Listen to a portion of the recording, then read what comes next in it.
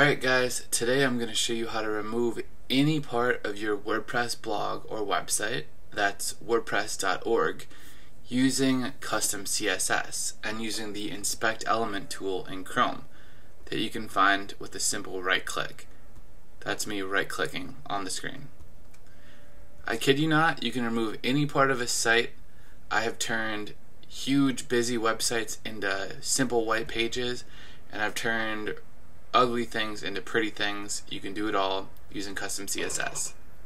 And that was the ice cubes in my soda melting. To start, you want to just think of an element you want to remove. And when you think of something you want to remove, the first place you should check is in Customize. If your theme has a Customize section, I'm just going to go there right now, then there might be a designated area to remove or change an element. For example, if we want to change our footer, we want to change this credit card logo or the copyright section, there might be a section called footer where we can do exactly that without any sort of code.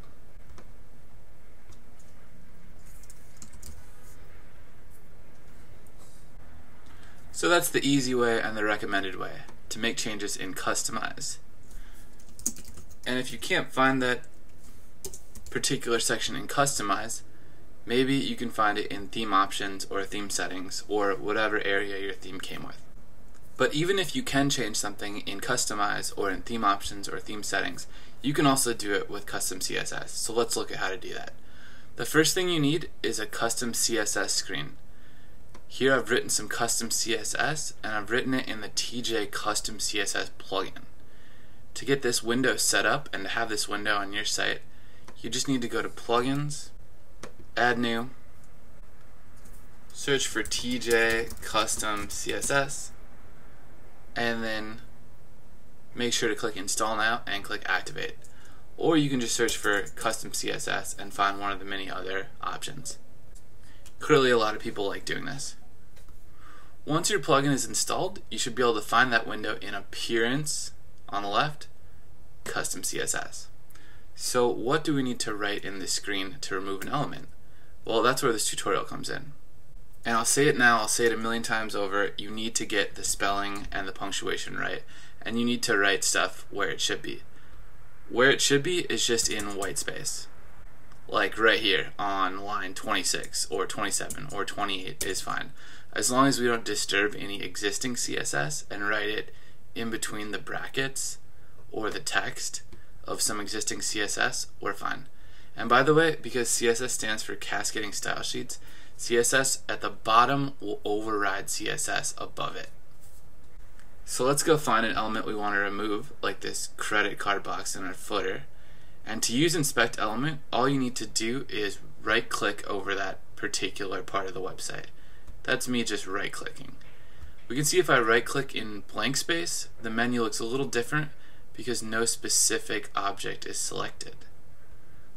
But when we right click on something like this Facebook button, we can click inspect and we get the exact code for the Facebook button.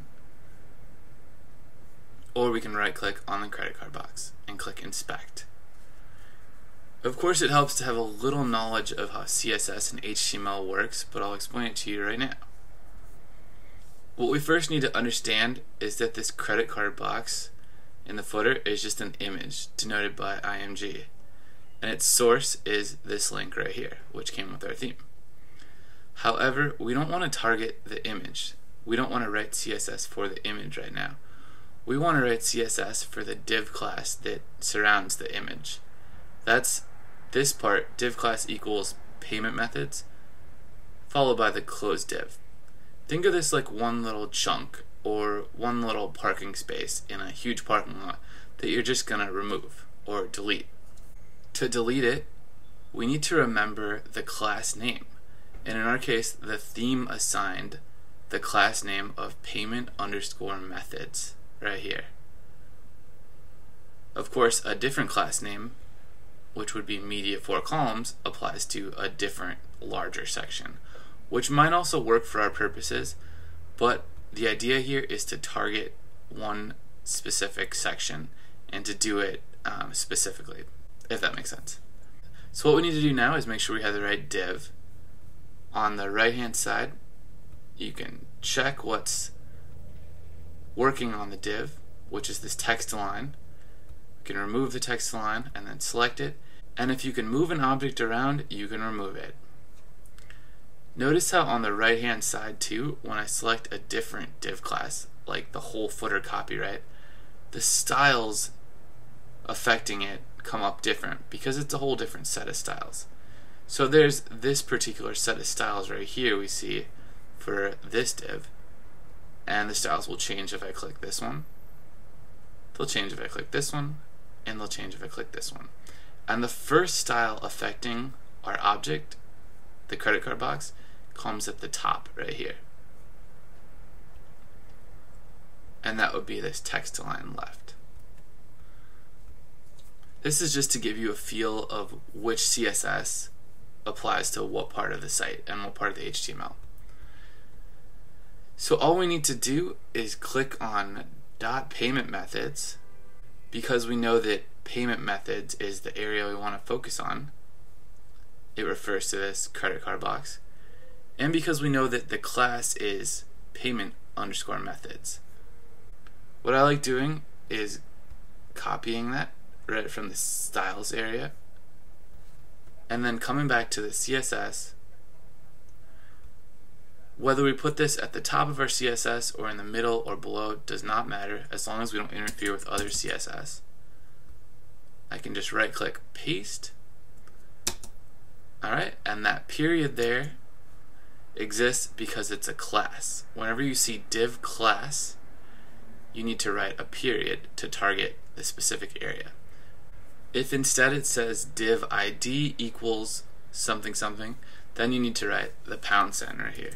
But because it's class, we can select it with a period.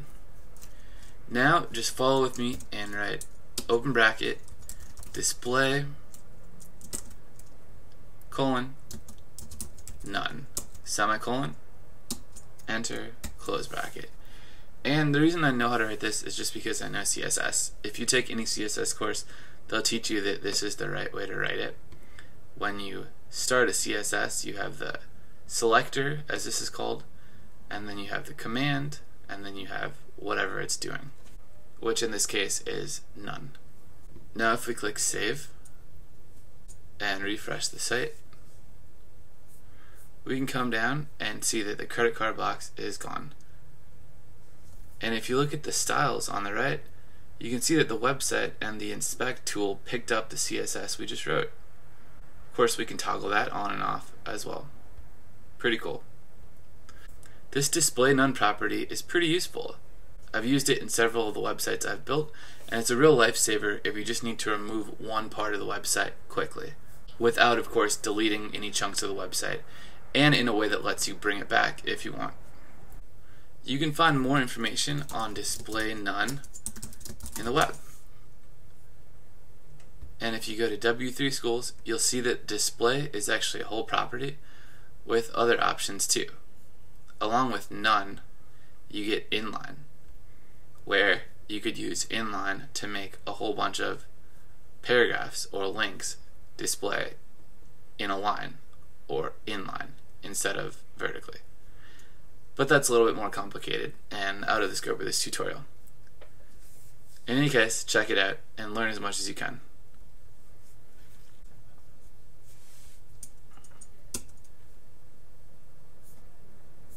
That's how to remove any part of your website using CSS and using the inspect element tool available in Chrome. Make sure you're building your website in Chrome, the free browser from Google. Try it out. Like I said, make sure to learn as much as you can and never stop learning. And of course, ask any questions for me in the comments. We can see we can also apply that to other parts of the site that you might not want to apply it to, like the logo. You just need to find the right selector. In this case, it might be site branding or it might be site logo.